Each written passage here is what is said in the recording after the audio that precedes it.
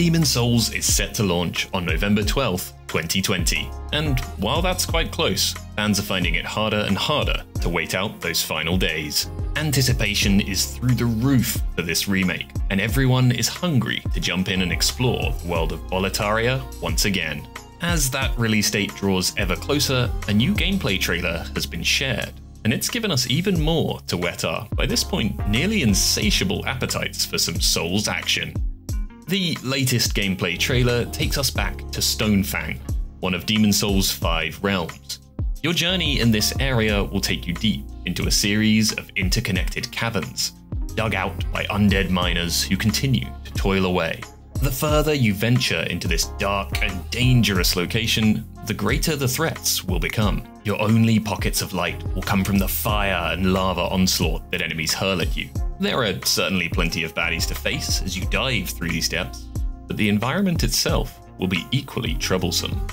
Stonefang houses some of the most foreboding opposition in Demon's Souls, and they are more than ready to put your skills to the test. The tortured miners might prove little more than fodder for your sword, but you can expect lava spewing rockworms to dash out and whip wildly as they try to end your adventure.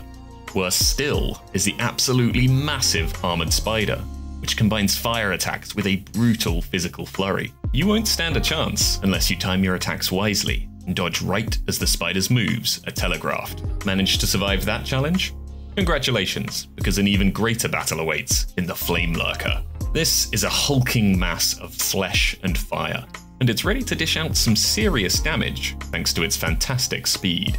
You'll go toe to toe with the Flame Lurker in an underground arena, a setting that drives home the point that only one of you is making it out alive. Sidestep physical lunges, dash around multiple fire-based projectiles, and learn the Flame Lurker's patterns if you want to have any chance of continuing your adventure. Stonefang is one of the most hellish locations in Demon's Souls, and while it looks better than ever in this PS5 remake, don't let that beauty fool you. This location hides extreme danger around every corner, and you'll need finely honed skills and the bravery to match if you plan on becoming the Slayer of Demons.